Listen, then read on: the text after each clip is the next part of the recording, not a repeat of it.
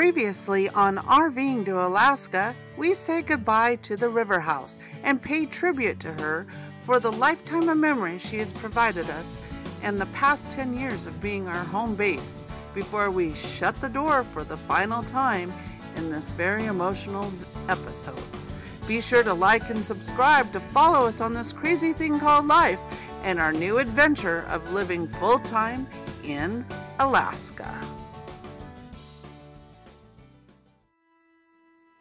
On May 6th, we closed our front door of my childhood homestead for the final time as we began a 2,800 mile journey north to Alaska. As we left our friends and family behind as we drove east, we pondered on our future with excitement, but was still the unknown if Canada would allow us entry to transit through their country during COVID and closed borders. Goodbye, Washington, forever crossing the Spokane River. And as the sign says, welcome to Idaho.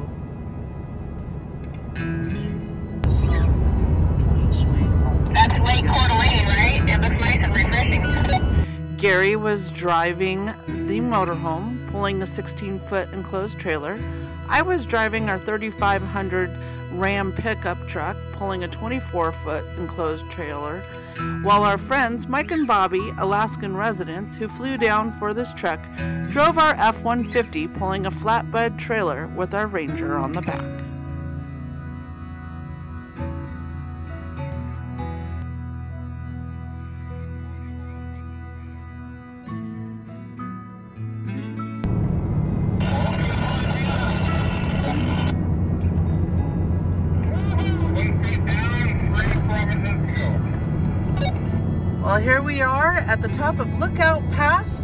As we leave Idaho and enter Montana. This is our last state in the U.S. until we cross tomorrow in Alberta. Well, we've made our first potty stop. We're just a couple miles inside Montana and all is well. Gary's checked all of the trailers all right, you ready to hit the road? Oh, I'm blowing out. There we go. Yeah. Okay, uh, Mike's going to lead us into Missoula since they have the address for the uh, location of our test. All right. We have to do. So uh, you want to? Okay, you can just stay in the back until we get close to town. Okay. All right. Love you. Love you too. You're doing good back there. That trailer's that trailer's just going to ride right behind you. It, it doesn't drive the same. I, no, it doesn't It because scares the living bejesus you're out of pulling me. 10,000 feet behind, or 10,000 pounds behind you. Right? it doesn't track the same. No. You, you, you're doing good though, baby. Let's go. We got. We got. We got to get a. Gotta keep your speed up a little bit. I'm trying. So our COVID tests are in an hour and 15 minutes, and we're gonna be pushing it. So we're out of here. Let's hit the road.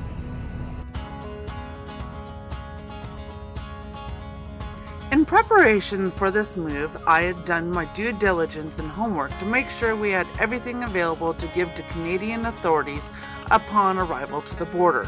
First order of business was stopping in Missoula, Montana to get our rapid PCR tests, called an ID Now, which should give us results back in less than 24 hours to meet Canada's COVID arrival requirements with a negative PCR test taken within 72 hours of arrival.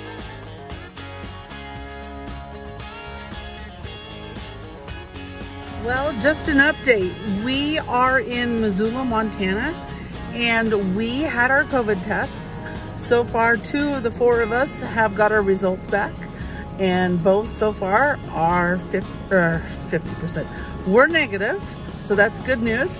We're just waiting on Bobby and Gary's test results, and we're filling up with gas. We've left I-90 and now we're on Highway 200, headed up uh, towards Great Falls and uh, Cut Bank and Shelby. Shelby is our final destination tonight, where we will stay the night and cross into Canada as long as Bobby and Gary's tests come back negative. So it's been a great day. It's been a little learning curve driving Big Blue with the trailer in back, but all in all, can't complain. With Canada's new travel requirements, an arrival test is still needed as of August 2021. So we recommend finding a Walgreens drugstore that offers the ID Now PCR test. It's fast, convenient, and free and meets all of Canadian requirements.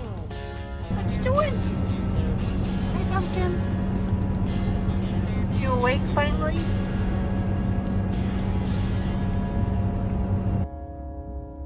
Many have questioned why we chose to cross in Montana versus Washington or Idaho, and the main reason was Montana had the on site COVID testing station for our second COVID test. It was the most direct route to the Alcan, keeping us out of Canadian national parks, and it was the flattest route with the cheapest fuel in Alberta. Well, good morning from Shelby, Montana. We had a semi restful uh, evening. We are straight across the street from train tracks. So, as you know, if you've ever boondocked near train tracks, it can be a little noisy. But we're just doing final preparations before we cross into Canada in the morning, or not in the morning, in like an hour or two. Uh, the boys are flipping our hitch on the motorhome trailer, that one right there. It was riding a little high yesterday and just to save our tires, we're gonna flip it around and get it more level. And then we'll be heading towards Sweetgrass uh, in Coutts, uh, Alberta. So, sorry.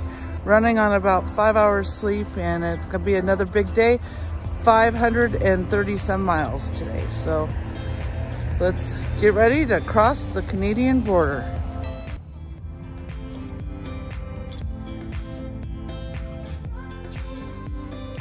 The time had finally come, after months of wondering if we would be allowed passage through Canada was upon us. We arrived prepared, maybe too prepared, with detailed inventory lists for each vehicle and trailer. We had all the dog's health records and certificates, our real estate documents showing us severing ties in the lower 48, and even more real estate documents showing our intent to make Alaska our new home. This was our last hurdle of this ginormous move to Alaska.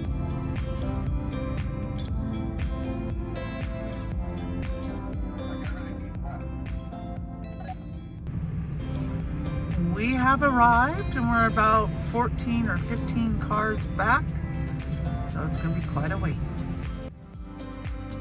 In all, it took four hours for the four of us to be cleared at the border. One hour was waiting in line to get to the vehicle gate. The next two and a half hours were spent inside immigration to be cleared and get our visas issued. And the last half hour was spent taking our second arrival COVID test. After being cleared, we headed north towards Edmonton with over 500 miles planned for that day, with our overnight destination being in Whitecourt, Alberta. The following morning, while on a rest stop when checking on our tires, we noticed unusual wear on two of the tires of the trailer I was pulling. So, when passing through Grande Prairie, Alberta, we stopped at the Fountain Tire off of Highway 43 for an emergency swap out. The tires on our enclosed trailer were not the best to begin with, and to be honest, we may have been a little overweight. So we upgraded all the tires on the trailer to a better brand suited with thicker ply tires.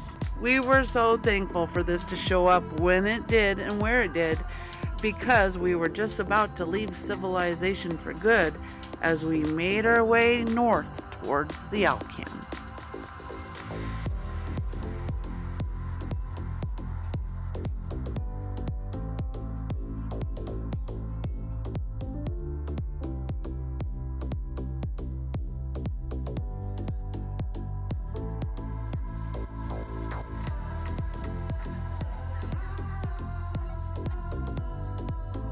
Today was another long haul with over 500 miles ahead of us, with Fort Nelson as our planned overnight stop. Our emergency stop for tires cost us close to three hours, making it an even longer day. But first, we needed to torque our new tires, so our next stop was Dawson Creek at mile zero of the Alaska Highway.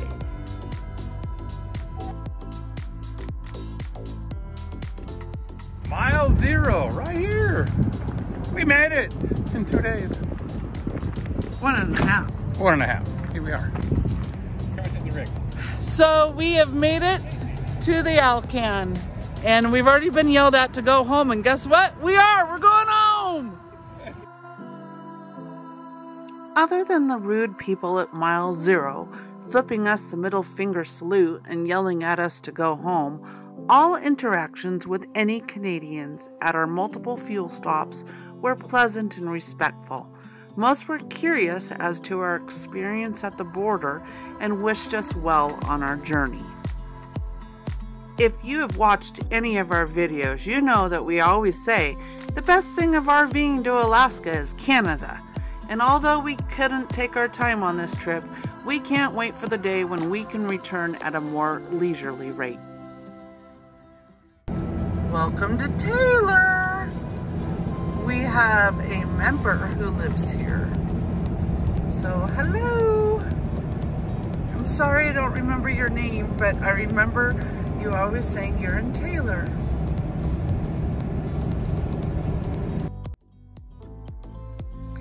Did you know we run one of the largest Facebook groups on the RVing to Alaska topic? We are easy to find. Just look for RVing to Alaska, the current year, and the words original behind it.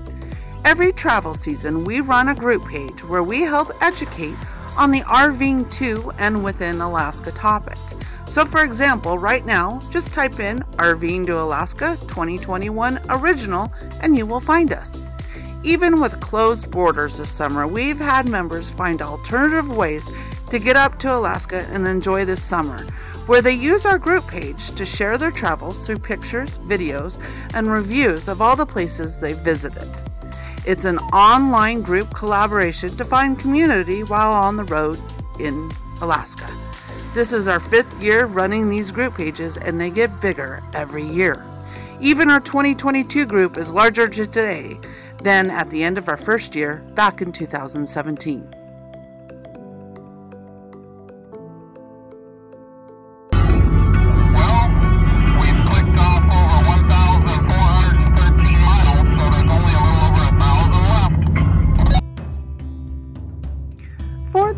Passage, the Canadian authorities gave us a five day time frame to get through Canada, and at this point, we were making good progress as we start to cross the Northern Rocky Mountains in British Columbia.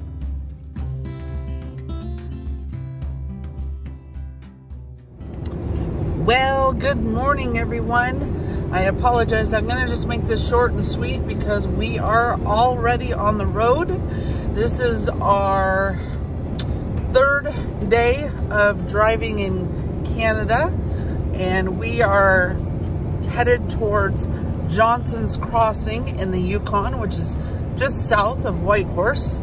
Last night we stayed in Fort Nelson, had a good night's rest, and it's another 500 mile day today, 512 actually, miles to uh, get to our overnight resting spot. Uh, today we will exit British Columbia and enter the Yukon. Uh, today we should also see lots of wildlife. We'll be going over the Rocky Mountains and with that we should have bighorn sheep, uh, some bears, and most definitely we will see some bison. So exciting day. Uh, we woke up to rain, but it seems to have cleared up a little. It's still cloudy, but the roads are dry. So it should be a great drive as we work our way to the Yukon and northern British Columbia. The bear on the right side of the road the camera to stop if we can see him. He's slowing down.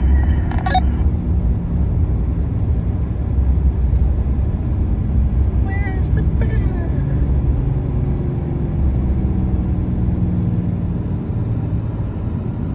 Oh, there he goes.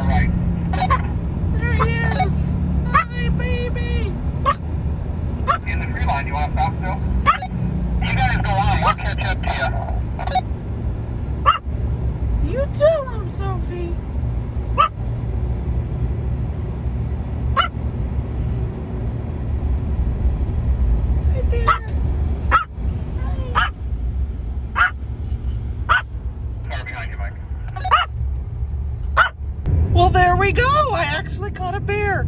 I didn't think I was going to be able to do that. Thank you guys. So, very cool. First bear of the day spotted.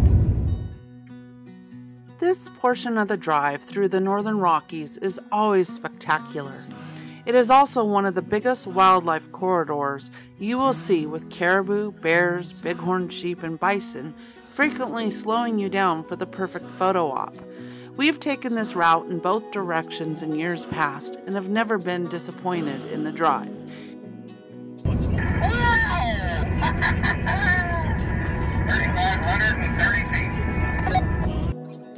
It's a toss up between what route we like more.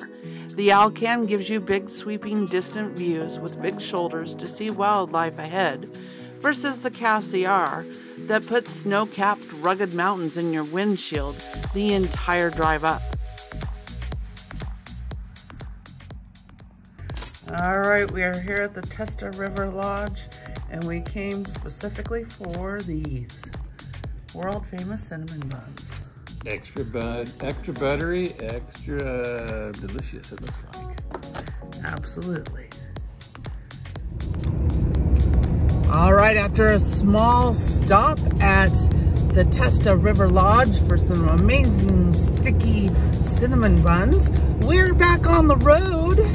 I highly recommend. The story is the late night knock on the door because somebody ran gas, broke down, went off the road. Hitchhiking, got cold. I mean, there must be a million highly recommend stopping and visiting Gail and Ben at Tetsa River Lodge on your next journey up or down the Alcan.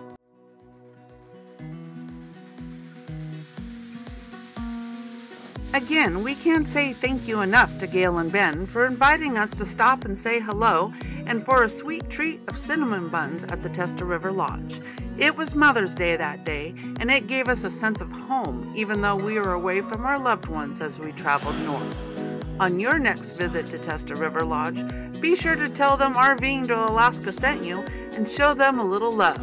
These two years have been hard on these small family ran businesses along the Alcan.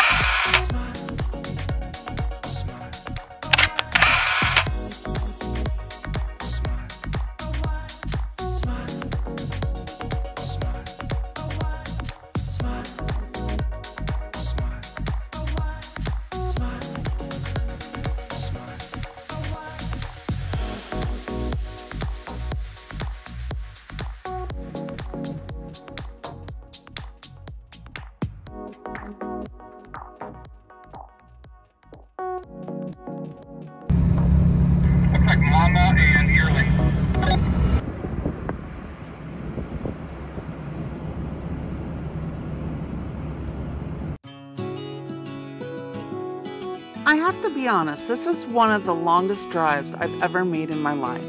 As the passenger, almost 100% of the time, sitting in the driver's seat for over 2,800 miles was a daunting task, especially with the added factor of pulling approximately 10,000 pounds behind me in a pull behind trailer. By the fourth day of driving, I had become better accustomed to the drive and was finally comfortable behind the wheel.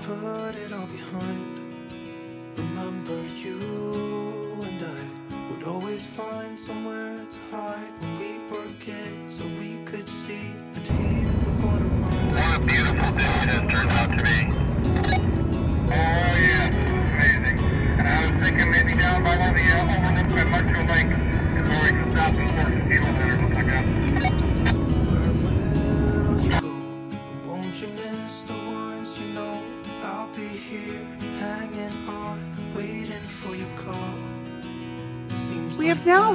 the Muncho Lake region of the Alcan, and Mother Nature kicks up the wildlife viewing for us as we make our way north. Sophie made sure to stay awake for this portion of the drive and protect her mommy.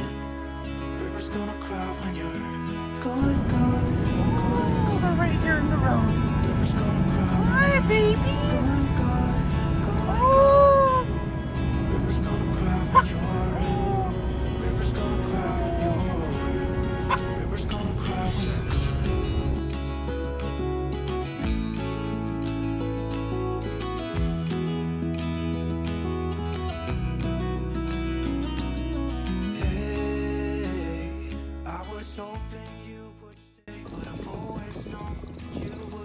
Planned stop. This wasn't an emergency. Oh crap, we're out of fuel. We did this on purpose. Not a good idea. Twelve years old, feel the wind, watch the river run, and the sun would always shine. When we sat there, you and I. having fun? Oh, this is awesome.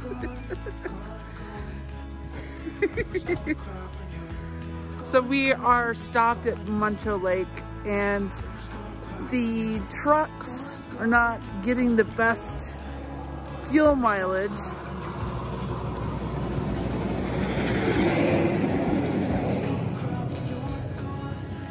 The trucks aren't getting the best fuel mileage just because we are uh, carrying heavy loads with the trailers. So we've decided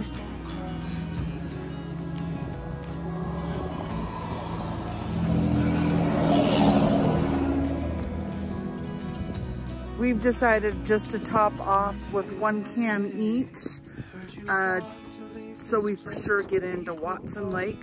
I think last gas check, sorry, there's some wind.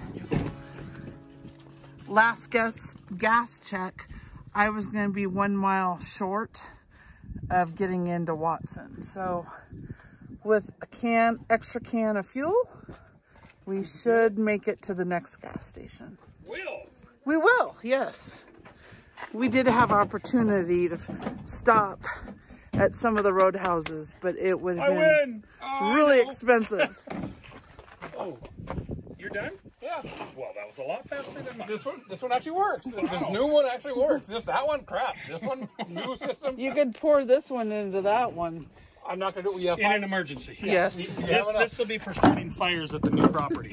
There you go. Actually, this is. I think this is the longest distance we have to go without fuel right now. Yes, this is the longest stretch. Yeah. If, if we needed fuel, this was gonna This be was where. gonna where, and, and this is where it was. it The fuel in the cans was a lot cheaper than the than the uh, lodge, Yes. Toad River Lodge. I don't even know how much it was. We didn't stop. Here you go. Handmade pressure washer. A ranger trick to get the mud off. You butthead. See how well it works?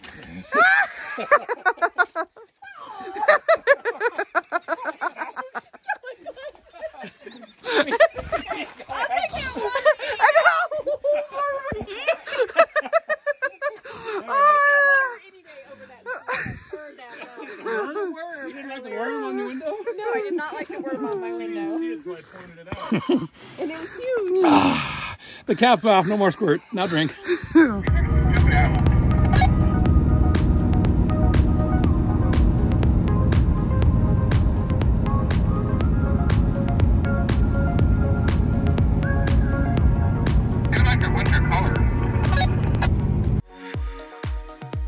After our brief refueling stop and stretching our legs in Muncho Lake, we headed back out on the road as it was nearing 2 p.m.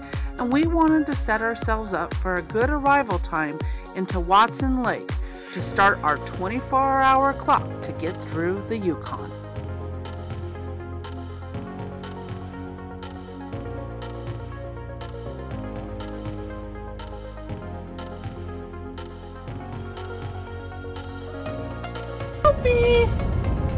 You're missing the buffalo, the bison. All right, we've come across another herd of bison. Gary's gonna pull over so I can take closer video. And Mike and Bobby are actually at another group behind us. So this will give them a chance to catch up.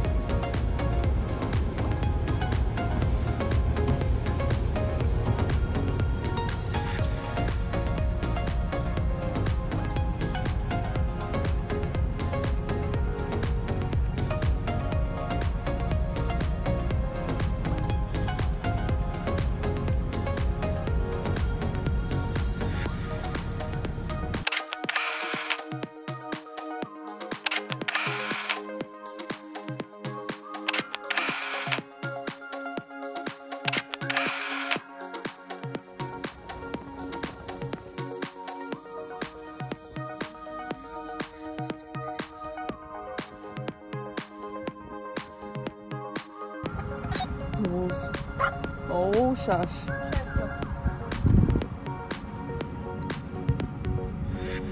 Okay. Sophie, are you talking to the bison? The Tatanka? Huh? You saying hi? Yeah. Yeah. Says the five pound dog to the however big buffalo. I must say, I was very glad that we had Bobby as a relief driver if needed. I had only needed her one other time on the first day of driving in Canada from exhaustion, but this time I needed her when I had an allergic reaction to a sparkling water that I had tried for the very first time. So for the next hour or so, I took a break in the passenger seat until we reached Watson Lake.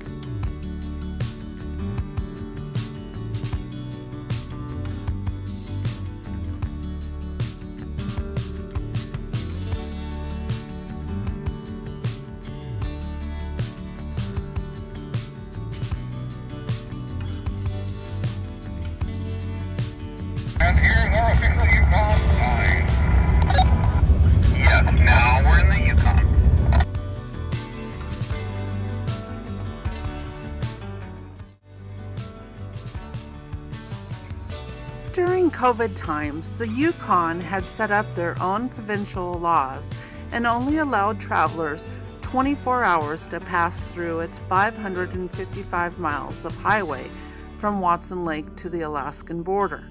Considering we had already driven several hundred miles under our tires that day, we wanted to give ourselves a good allotment of time for an overnight rest period to allow ourselves to be out of the Yukon and Canada within 24 hours from now.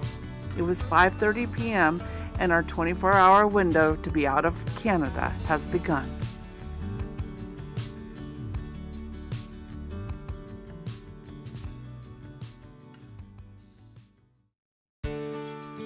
Like and subscribe to the channel to stay tuned for our next video where we spend our last 24 hours in Canada as we traverse the Yukon and finally reach the 49th state and our new home of Houston, Alaska.